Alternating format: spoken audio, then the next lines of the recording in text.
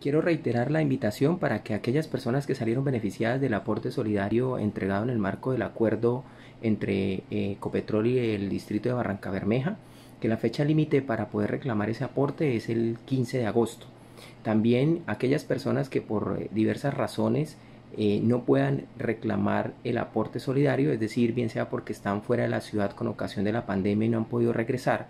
o por otras razones que le impiden acercarse a un punto efectivo a reclamar el aporte, pueden eh, autorizar a un tercero para que éste reclame el aporte y para ello pues deben entregar sumado a la copia de la cédula de ciudadanía tanto del titular beneficiario como del tercero autorizado un poder, en el caso de las personas que están fuera de la ciudad, debe ser un poder autenticado. Y en el caso de las personas que están en la ciudad, pues el poder debidamente firmado.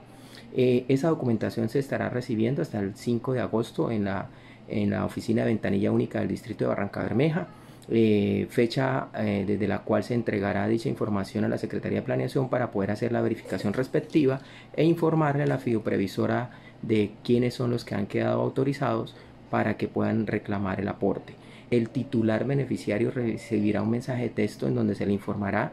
que ya ha sido autorizado y le podrá en esa medida pues informar al tercero para que esta persona reclame el aporte.